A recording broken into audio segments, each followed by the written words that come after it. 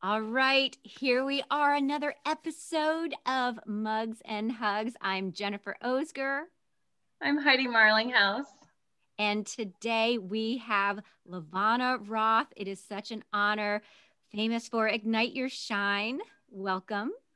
Thank you. Thanks for having me. And Mugs and Hugs, who wouldn't want to be on that? exactly. I, we've got um, my mug here, I was saying that um, everyone has a beautiful red for the holidays. And so I've got my red in my mug and you have your mug. Oh, you've got two of them. Double fisted mugs. Water and tea. excellent. yeah. Excellent. So, the way we like to introduce people is to give you an opportunity to say to everyone, like, if people were to look up LaVonna Roth on Google, or whichever platform they, they want to look, um, what would they find? Where, where would you pop up and in what ways? Should we try it? No, I'm just kidding. That's always a little bit frightening. You know, is I remember the first time I did pull myself up and I was like, oh, oh, oh, like, I didn't know there's this much information. So it's always fascinating, but I'm, I'm pretty active on Twitter. Uh, I've, I've pulled back from, to be honest with you, uh, social media quite a bit, not at the level I was doing it. Um, but Twitter is definitely something you'd find me there. But my background has always been, especially when I talk about Google, Google has been, I was a teacher for elementary and secondary and absolutely loved it. Never planned on doing anything different, but you know, life likes to throw different things your way. And I'm someone who has always said that I don't want to ever regret what I didn't try. And so I try to live my life that way. So I had an opportunity to step out of education just as I was getting ready to interview to become an administrator and I stepped out, and one thing led to another. Some great experiences and some not so great experiences. And all of that, though, it plays a part in where I am today as an educational consultant slash motivational speaker slash whatever else you might find out there. So it's been a really, really neat adventure and journey that I didn't plan, but I absolutely love. Wow, thank you so much. And uh, Ignite Your Shine is pretty much your big calling card. Yes, is that yeah, I would say that it was originally I was all into brain science and how the brain learns, and I still am. But I wasn't seeing a lot of the things I knew should be happening. You know, I have eight books out there, all on how the brain learns, strategies that teachers can implement in the classroom to not only align to how the brain learns, but also to engage students. However, I wasn't still seeing that impact that should have been there. And so when I took a step back, I went, wait a minute, this is actually not about the the brain like it is well it's about the brain but it's not about the instruction at this point we need to actually take a step back and say okay if the brain is going to learn then the brain has to be in a state of learning and that is what is now often referred to as SEL. At the time, I didn't know that term, but now I can put that under that classification of social emotional learning. And so, Ignite Your Shine is the exact thing that we're, we're going for to put the brain to a state of learning to then for it to be able to learn. Excellent. And that that aligns with what we do so much of and we can't wait to get into a little bit of that throughout some of our questions. What we do is we have five questions. They're strength based, they're positive, um, designed to really elevate some conversations. And what we'll be doing is uh, going back and forth, asking you the questions so you can, um, you know, really take your energy where you want it to go, and we'll see what comes up from the conversation. Awesome. Love it. Ready? Yes. Great. Yeah, and I'm going to try not to get like too into it with you, LaVonna, because you are right up my alley. hey, just just telling us like how we could find you on the internet is like, oh, she's like into SEL and brain science, and let's go. We could have this conversation for eight hours. So mm-hmm. I'll work on on narrowing that down. All right. No worries. So I'm curious to know since you've done, I mean, you've done a variety of things, right? You've been in the classroom, you were getting ready to be an administrator, which I find uh, incredible that you you stepped out and did something different from there, uh, and now you're actually helping educators in their classroom. So, out of all the things that you've done, what are the proudest moments that you found doing your work, and what do you contribute to your success? Wow. So I would say proudest moments. This is one of those, it's so funny because I encourage everybody else to talk about themselves and that that's not arrogance. That's, those are facts and things that you embrace about that greatness of yourself. But it's always, you know, one of those where I too have to put those things into practice. So for me, it's it's stepping out. I, I would say it was one of the biggest things, even though I've always been a little bit of a risk taker for when I stepped out, I had done no consulting. So I was stepping into a complete unknown and I had no mentor to support. And financially, I really, to be honest, couldn't do it. I mean, I was married to my husband, but he has his own background and, and things that he was. Well, this is my second marriage, his second marriage. So, you know, we're bringing things to the table. And so financially, there was no way we could do this without my income. And I remember when I came home one day and I was in a really toxic environment um, where I was working. I was screamed at and cussed out one minute. And then the next minute they were hugging me and saying, God put your life for a reason. We're so blessed to have you. And I thought you're you're doing two totally different things here. And after, to be honest with you, crying quite a bit, I finally one day said, you know what? If they can run a company treating people like that, then I can run a company and treat people right. And I didn't know what that meant at the time. And, and it's funny because when I look back on every job that I did from education all the way up to the point of going into my own business, I can see how every single part played in a part of where I am today. So when you mention success, I, I, do. I credit it to looking back to all the do's and to all the don'ts, whether it was in marketing, whether it was in sales, whether it was in following your ambition and your passion, and every little, eh, seriously, every role, every bit it plays a part in where I am today. And I've just learned that you have to use that to your advantage, not to get drowned in it, not to say, oh, woe is me, I can't believe that happened, but instead to say, what did I learn from it? What is the lesson, benefit, and takeaway? And so to me, that's been, you know, some of the greatest accomplishments is that. And I remember, by the way, my husband, when I told him, I said, I'm, I'm jumping out, his words to me were, you better make it work because we didn't have a choice, right? But there's also beauty in that. I didn't have a choice. Like if I truly wanted to do this, and I knew that I could always go back to the classroom or go back and be an administrator, but that if it comes to that, no worries. But at the time, I really wanted to give it a shot. And that was like 12 and a half years ago. So I am loving every step of the way. That's awesome. Um, I, I love your philosophy and your vision of, you know, taking all the hardships from the past and using those to elevate you and to grow. Um, I think that is the, you know, trademark of resilience. Oh, I, I would agree. You know, and believe me, there's times, you know, that I'm just like, what am I doing? Like, why am I doing this? because it's not all easy. You know, I, it's funny. I have so many people who come to me and say, LaVonna, how, how do I get to do what you do? How do I get into consulting? And my first question to them is, why do you want to get into consulting? And it's amazing some of the answers I get. Like the number one answer I get is, I want to travel. So then I immediately say, why do you want to travel? Because I want to go see places. I'm like, okay, so here's the reality of what's going to happen unless you're loaded and you don't need to worry about it then that's a little bit different. But let me just kind of walk you through what actually happens in that scenario. And it's it's finally why I, I guess it was about a year ago i actually started prime to shine and that's where i do teach people how to get into educational consulting. So we have a course we have a membership site we take people through everything and support them.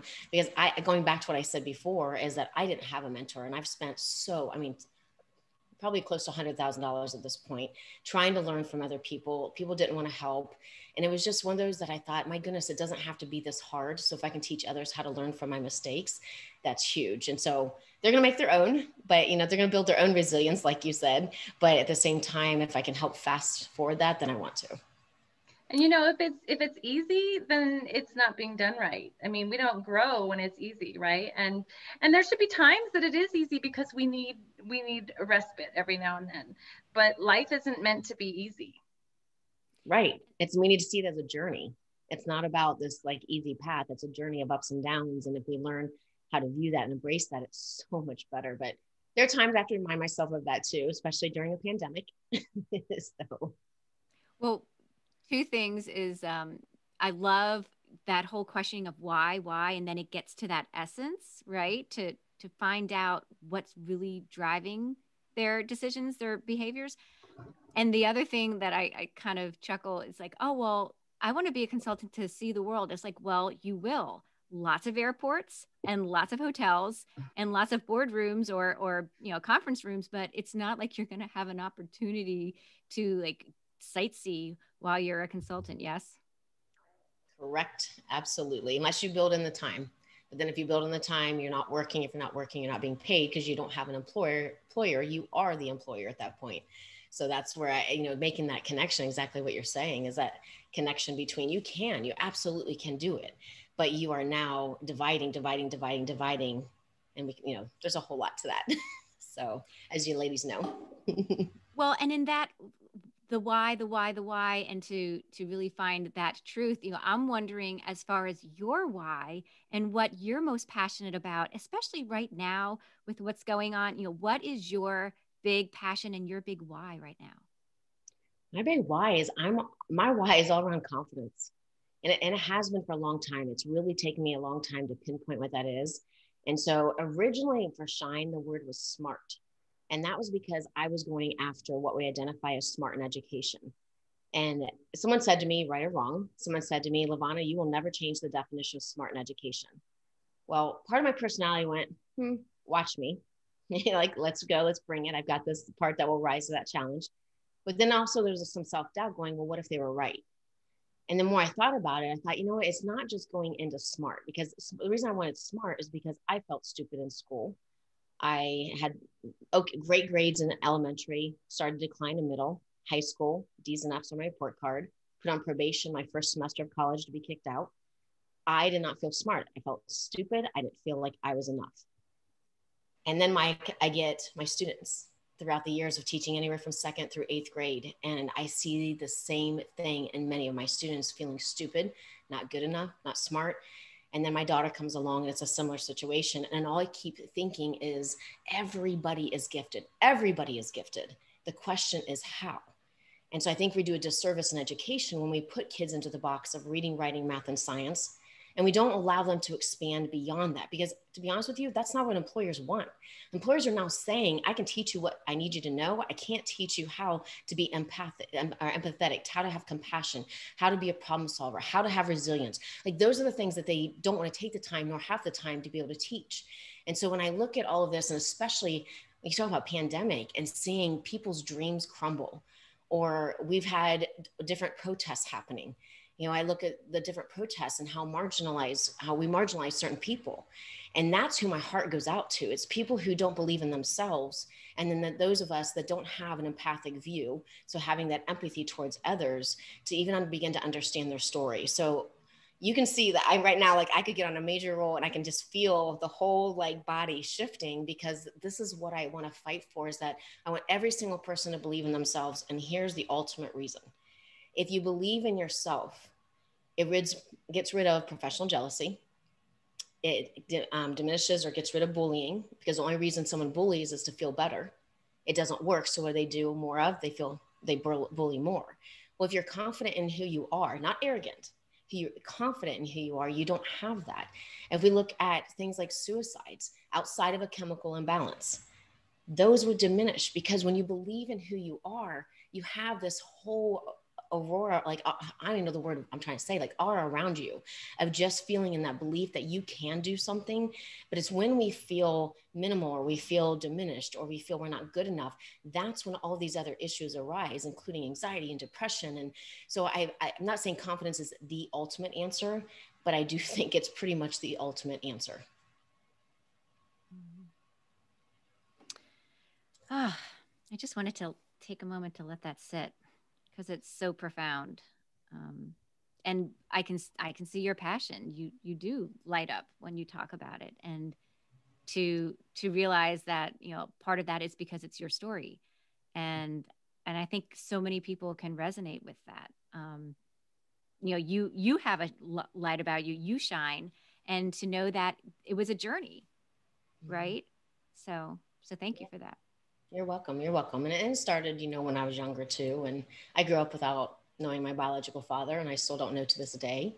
You know, and I, it was my mom and I for years. And at one point, I, my mom and I even lived in a little building behind my grandpa's welding shop, and it was once a chicken coop. And we lived there for three years. You know, so raised in the early years in poverty and just going through life of not having a father that was my biological father. I end up having a father, you know, that when my mom gets married down the road, but all those things reflect and it's I always have such empathy for others when they share their stories and it may not be the same as mine, it may be different, it probably is. But understand that we all come from things that hurt us and we all come from things that we have to figure out how to work through.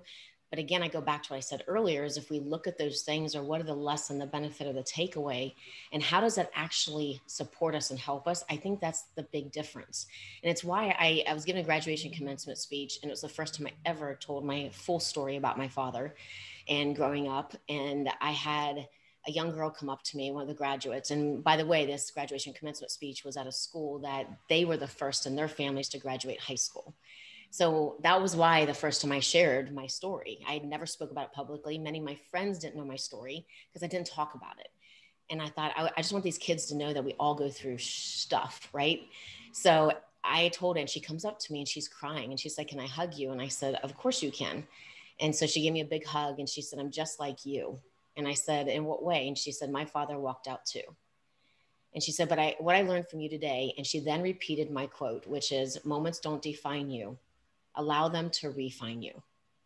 And that was something that I had to adopt for myself moments. And that's what we don't call them bad days or tough days ignite your shine. We call them moments because literally it's a moment in time. Even though it's long at times, it's still a moment. So moments don't define you unless you let them, right? Moments don't define you, allow them to refine you. Because one thing I do know for a fact is I am not the woman I am today if it hadn't been for those things in the past and how I use them. So it's the same for every single one of us.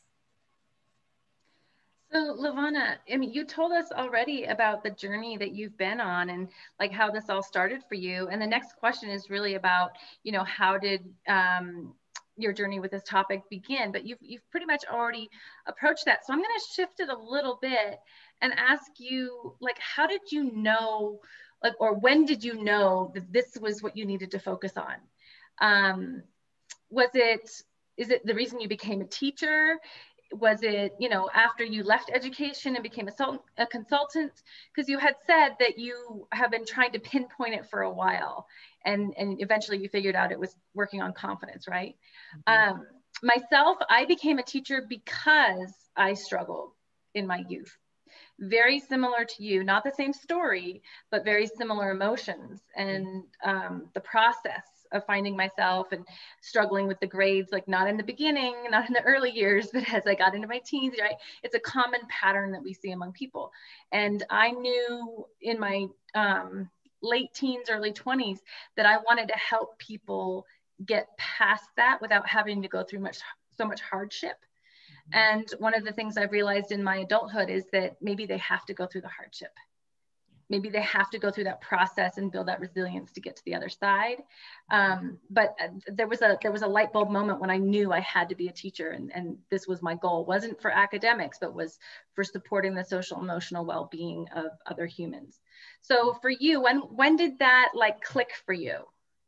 It was way later. So I will tell you the re- I didn't plan on getting into education. I was in psychology and I was not doing well, which is funny because the majority of what I do now deals with psychology. Uh, but it's I look back and at the time I was I was about to flunk out, like I said. So I grabbed the university catalog because I wanted to take sign language. But in order to take sign language, you had to be an education major. So I became a teacher for the deaf and I learned to sign. And that's so when my GPA did a complete flip and I found that I loved, loved, loved because what I was about was feeling that fulfillment, you know, showing or creating this impact and being able to see it. And so to have then the connection of students who felt like me or went through challenges that even whether they were different, like you said, that emotion is still there. It doesn't matter whether we have different stories or go through different ways. It comes down to the emotion that we can all connect to if we've had that emotion. And so for me, though, that ultimate point, though, was even though I loved the brain science and I loved working with teachers on engaging instruction, and I still to this day, but the reason SEL is because my daughter came along. And when my daughter hit middle school and she was going actually into high school and is starting her freshman year wanting to become a plastic surgeon for children with deformities. And by her sophomore, junior year, those two years, she had horrible, horrible experiences and things said to her by teachers that should never be said to a child. And that immediately changed her path to not even want to finish high school. Thankfully, she did. I didn't care if she went to college, but I did care that she finished high school. But what brings the emotion to me even to this day is the fact that she was ever even put in that position. And so that was the final trigger for me. Like I already knew where my heart was, but I have this amazing, amazing kid with such giftedness that was not being seen. And she felt stupid, felt like I'm not enough. And I'm thinking, oh my goodness, I'm a mom and I'm a mom that is promoting this. And that was such a heartfelt, hard time for me because I couldn't figure out if I can't get my own daughter to feel confident and believe in who she is. And that's when I realized again, I'm like, LaVonna, you, you can do so much externally, but a lot of this comes internally you know this is when you get to be proud of who you are and believe in who you are. And so all of that i mean that was the trigger for me but that is why i want that i have that drive of wanting to see others believe in themselves because we are truly unstoppable if we can harness that. I love that. I have a um, I have a daughter who's a freshman this year and we moved in the middle of covid and she doesn't know anybody here uh, although we're we're working on changing that. But um, and then I have a son who started sixth grade, started middle school this year, um, and like I said before, I, I've learned that people need to go through their own experiences and go through their own hardships. But what I know I can do because of my skill set and my background is I can be there. I can be there to support. I can be there to teach.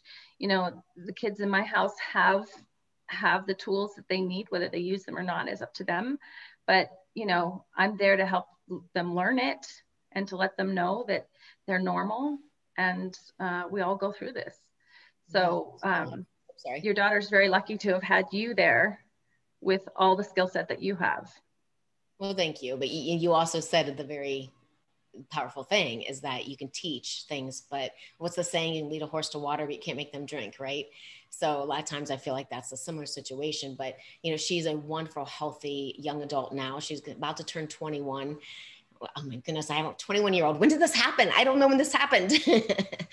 but you know, I just I see, I look at her now and she is using the tools, you know, but I think we all have to arrive at that time, just like you know, someone can preach to me all day long about what I should be doing to be healthy and eating and all that. But until I'm ready for that, I hear it. And matter of fact, I could tell you all about it, but it doesn't mean I'm doing it. And so learning to embrace that. And I think it's the same thing when we teach others tools, especially young adults or children. Hmm.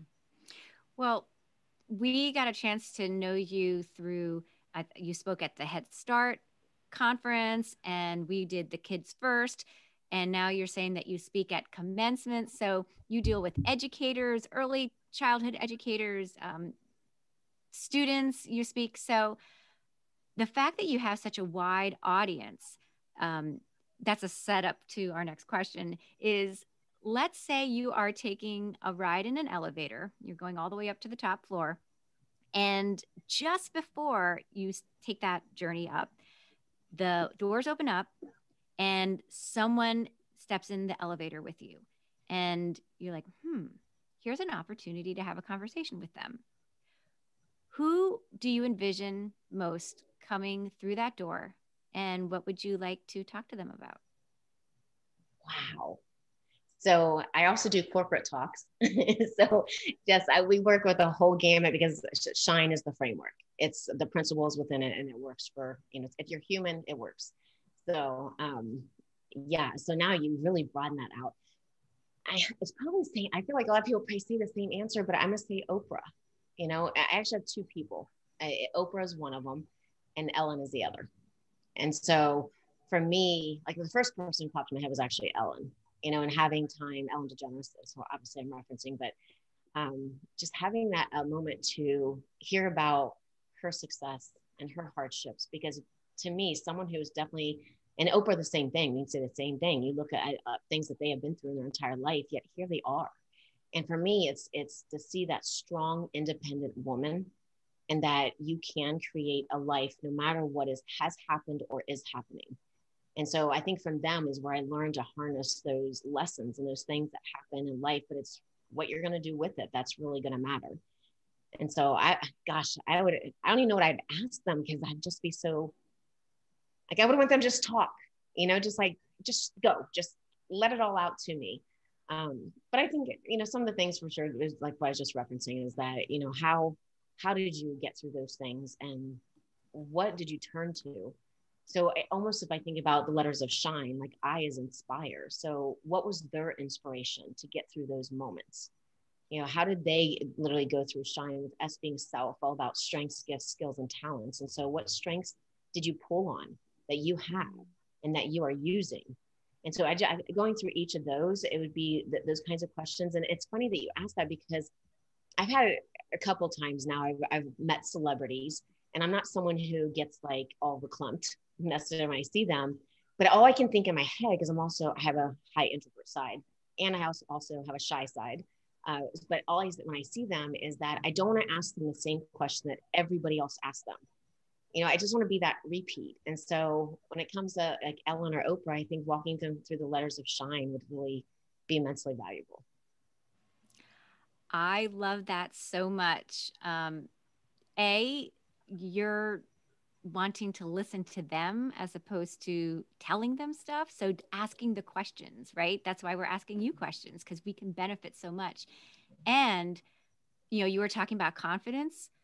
You're mm-hmm. talking to them and you are gifting them with your framework because you know the power of it and you believe in it and and I just that is so exciting to me. I love that. I love that so much. Well, thanks, Jen. I appreciate it. Yeah, and as I was listening to you talk about, you know, that they've been through hardships too, and look where they've come and and um, just like you they have resilience right? They have they've taken those experiences and they've used them to elevate themselves today. But not everybody does that. And what we know is that people who are hurting turn around and hurt other people. And listening to your story about your daughter and her experiences with teachers even who were hurtful um, you know, just makes me think that those teachers don't have the tools and those teachers are hurting. Mm-hmm. Uh, and the whole system is hurting. I mean, when I was, you know, in the classroom in education, that's what I saw. I saw a lot of hurting people without the skills. Um, and it was just a trickle effect. And the kids are at the bottom of that trickle effect. And and we're supposed to be all about the kids. So, LaVonna, how do we bring this conversation into the schools so that we can have more healing in the schools? And more positive environment for our children? Well, I think using the SHINE framework is an easy start because it allows conversations to happen. And so I think sometimes when you come in with a vulnerable question, if somebody's not ready for that or they think it's fluff, they don't understand the psychology and the effects of what truly happens, that taking them through something that can anchor that and have some conversations and allow the depth of the conversation to happen over time as people settle in and get a little bit more safe with it. Um, I think Shine actually allows that and also gives a frame of reference. You know, people often say, oh, the Ignite Your Shine program. And I always say it's not a program, it's a framework because programs come and go, programs are scripted that's not what we do. We're a way of doing and being. And so you're adopting the language and philosophy. And so when teachers begin to do that and students begin to do that and families and staff in general, I mean, we always invite custodians and bus drivers and the lunch ladies and the office staff in because it takes everyone to create that. And so, you know, going, I think that just kind of creates the part of the conversation. But I also, we've been doing a lot of work with tapping into past stories but in a safe way that people feel comfortable sharing them. Because going back to what we said earlier, is that it's not about having the same experience and saying, oh, well, I can't relate to you. It's the emotion that you can relate to. You know, there are things in life that I will never relate to, you know, I, because I, I'm not, that's not who I am or what I will ever experience. But at the same time, there are emotions that I can completely relate to and have that empathy. And I think the core for all of this is going to be to have empathy first and so when we recognize that not everybody has our story, and I, will give you the example the teacher that really, really unfortunately crushed my daughter, there were two major, major instances with him. And one was way more severe, actually, I should say. And I'm, I will not share that one at this point. But the one, first one was my daughter has um, ADD, and so she has a 504. And he said in front of the entire class when she said she needed extended time. And by the way, this was the first time she ever advocated for herself ever she said to him, I, I have a 504, so it allows me additional time. And he said, average kid can do it in 20 minutes. Sit down. And she goes, well, I don't know if you know, but I have the 504 and it does allow me the additional time. And he said, an average kid can do it in 20 minutes. You had the whole period, sit down. Well, that was the first time and the last time my daughter ever advocated for herself. And he did it so loud in front of the entire class. So my daughter walks home that day and she's sobbing and she calls me and she said, this is why I don't advocate for myself. And that was when she shut down. And so I ended up emailing the teacher, and it was a really friendly email. Now, I, I, will admit that in the beginning, the first part, I did say something like she does have a 504 comma, a legal document. I may have put those little words in there. But outside of that, it really was a friendly email because I don't always know the teacher's story, you know? And so by mind, fast forward a little bit, he emails me back and it's the most unprofessional email I've ever seen in my entire life. And three times in there, he put, uh, an average kid can do it 20 minutes, an average kid can do it 20 minutes, an average kid can do it 20 minutes. And all I kept thinking is, my daughter is an average. That's why she has a 504. But if any of your listeners love to read, I'm going to highly recommend the book, The End of Average by Todd Rose. And I love that book because he really explores what is average. And the bottom line is, as we set kids up every day in our education system, at least in the United States, we set them up as average. That's exactly what standards are. And so the book like changed my world because it was exactly what I believe in and it finally put words and language to what I was trying to say. And Todd Rose is actually interesting himself because he is a high school dropout at the age of 18. And so again, high school dropout and 15 years after dropping out to current day, he is the director of mind, brain, and education for Harvard University. So his book just showed again what, I'm championing for. Like, don't let life things determine who you are, what you can accomplish, and what you can do. You get to determine that. So to be honest with you, Heidi, I've kind of lost the of what the question was because I got on that passion roll. So if I didn't answer it, let me know. No, you you did. And actually it's a twofold question and I only asked you the the first portion of it. So the question was about how do we bring this conversation into schools? Um, and and you you told us that. But then my second question, uh, or the second part of that is, you know, what would the ideal outcome be? And I'm wondering if in that maybe you can tell us a little more about the acronym of SHINE as well. Like, what is what do those letters stand for? Because maybe that's the ideal outcome. I would assume since since bringing SHINE to the schools is the way yeah. you think it. Uh, we can bring those conversations there. Yeah. Oh, it's amazing. The stories I get, the DMs, the emails of just the changes like one of the cutest recently was on twitter someone had put out that a student who was going through shine their whole school is a shine school and they were at home and the mom had a cloth lamp that was white and she comes around and it literally says shine with a light bulb written on the lamp. Like that's a good outcome right there. That the mom was like i couldn't even be mad you know because she, again she knows the power of shine but yeah so i mentioned s as self and it's all about strengths gifts skills and talents but then we have heart and heart. So let me back up for a second, actually. For self, it's also about your mindset. It's about taking care of you. So S is the one that takes us always the longest to take people through. And to really dig deep into that, because that's, a, I mean, you're talking about you, right? Uh, sometimes there's a good amount of work that needs to be done. And because of whatever we're harboring and beliefs that we have created. And so then when we get to H, H is heart, and it is all about passion. Like what your why, you know, what excites you? What do you love to do? And that can be a deep why, or it can be a passion of I love to crochet. Like it literally can be anything you want it to be. And then, and it should be, but the two of those together are actually what's powerful. Because if you have a strength, right? So if I have a strength in something, but I'm missing the passion, then that I'm gonna have burnout over time. But if I have the passion, but I'm missing the strength, right? That's not there, then that's more like a hobby. Like I'm trying to do something that I'm not actually really good at. And that's okay. Go for it. This is the, how you discover things. But Gallup research says that a strength will remain a strength, but a weakness will never become a strength. A weakness will never become a strength. So weaknesses will improve, but they'll never become one of our strengths. Yet we beat ourselves up so much over, I got to get better at this. and I can't do this. And how come I can't do it? Well, look at them. They're amazing at it and they're rocking it out. And we do all of this okay, comparison instead of that self reflection. So I is going to be inspire. I mentioned that one before. So we have self, heart, inspire, because life's going to throw curveballs, whether it's something like as big as a pandemic we're in right now, or whether it's life events that happen, little or big. But how do you stay inspired and how do you inspire others? And then when we get to N, N is navigate. What are you going to do with everything that I just talked about? What are you going to do with your greatness, your passions, your inspiration? You've got all that, but you've got to take action. You're here for a reason. And that's where that impact comes from. And a lot of us get fulfillment because we're using that greatness about us. And then E is exceptional because you're becoming an exceptional person you were meant to be, not anybody else who you were meant to be. So it is called Ignite Your Shine because it's all about taking that greatness that you have. We call you a lion of greatness at Ignite Your Shine and then implementing it to be you. And when you when you're you, you impact others. I I love that.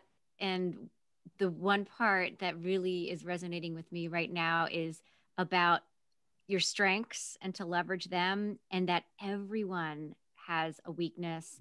Um, that whole concept of average is really blowing my mind too. I've, I've thought a, a lot about that.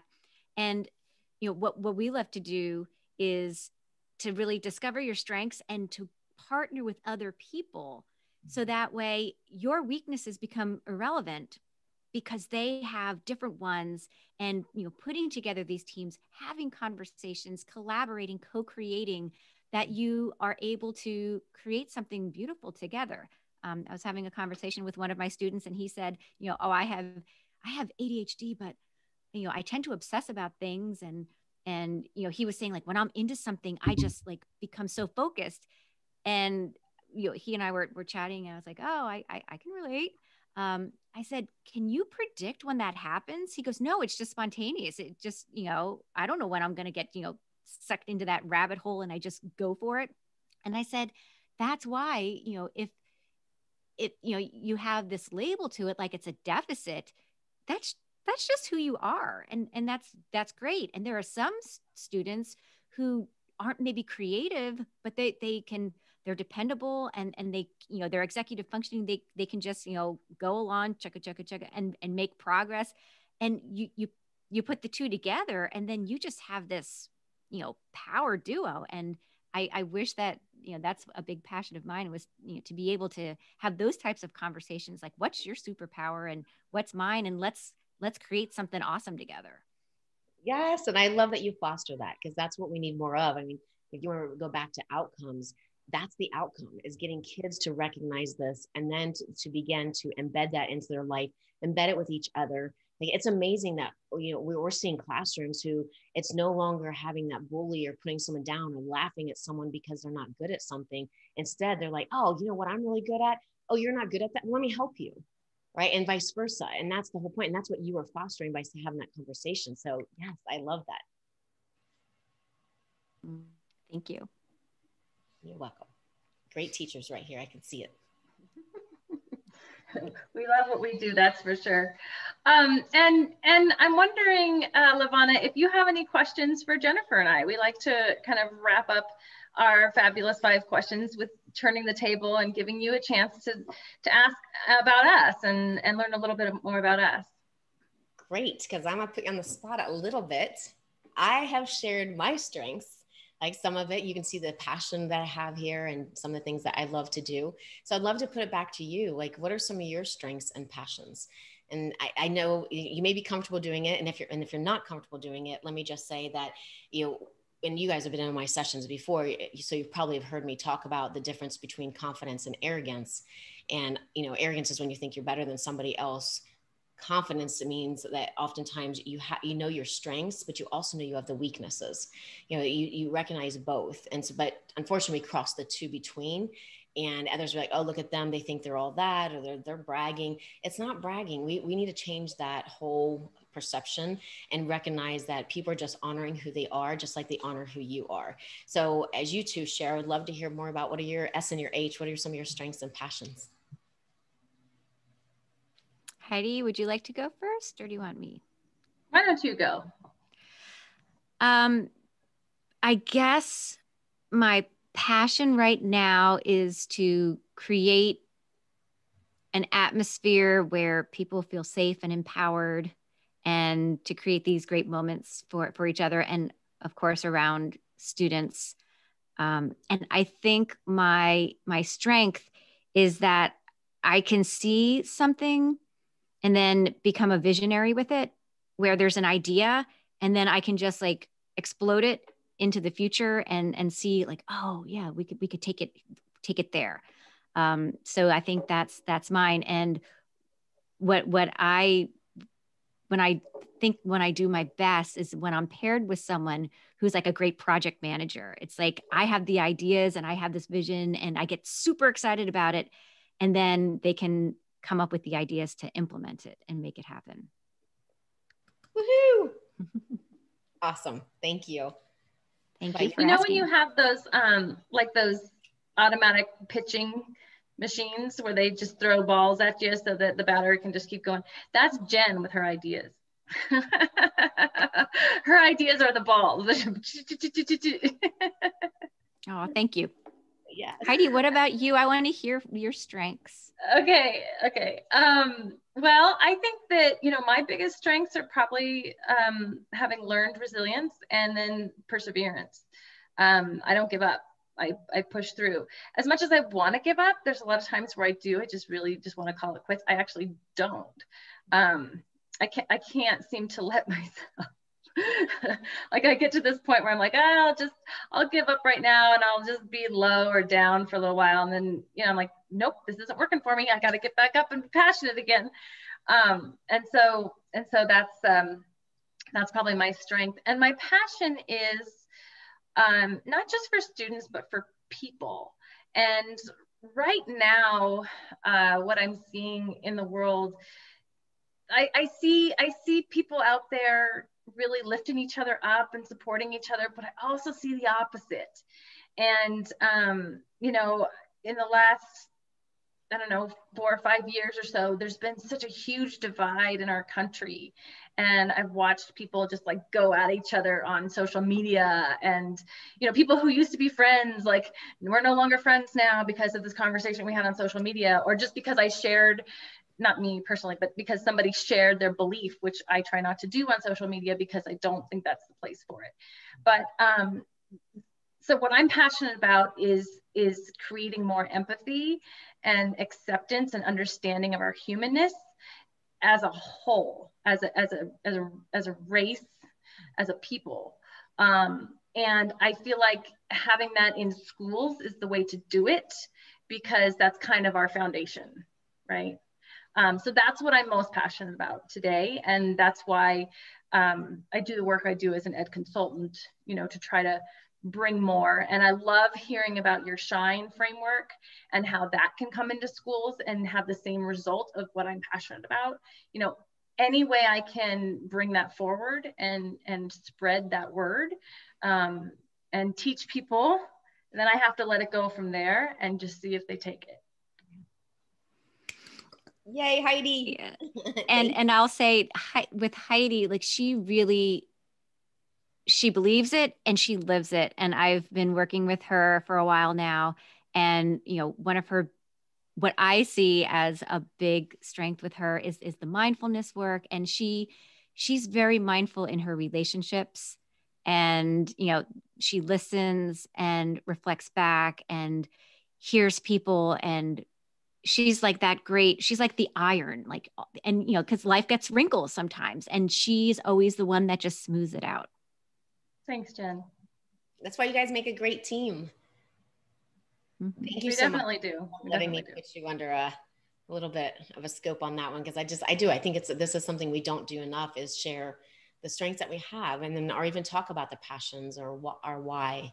So thank you thank you so much for making the time and you know it's it's an absolute honor and delight and we're very very grateful and um, hopefully we might be able to work with some projects in the future and just um, we honor you thank you yeah, well, yeah and i'm wondering i'm sorry well, go, go ahead. ahead. I just say right back to you. I just I really appreciate this opportunity because it's it's nice to have deeper conversations and to to uh, be around like-minded people. So thank you. And I'm wondering for our subscribers and viewers, uh, what's the best way for people to find you, LaVonna? On any social media, it's at LaVonna Roth, just like the name is here on Zoom. you can see it in the window. Um, at Ignite Your Shine, we're everywhere except Instagram is at Ignite Your Shine now. And so, otherwise, that if you want to reach out directly, and DM me through there or LaVonna at igniteyourshine.com. Okay. And also, um, you know, people can contact Jennifer and I, and we can connect them with you if if that's a route that they want to go. I've got my email right there, and Jen has hers down below. Um, it never works out. Wherever my finger go isn't where. uh, and we do hope that more viewers subscribe so that you can continue to hear these stories in education and these conversations because we have such amazing people like LaVonna uh, come to us on a weekly basis, just about, um, and really trying to make that change in education. So thanks for being here, everyone. We're going to do our little closing. LaVonna, if you want to hold up too, we could do that. There's a, there you go. Here, can you see my lipstick? What's on, on that one? Yeah, it's good. Oh, yay. Got it. Thank All you. All right, guys. Thanks for coming, everyone.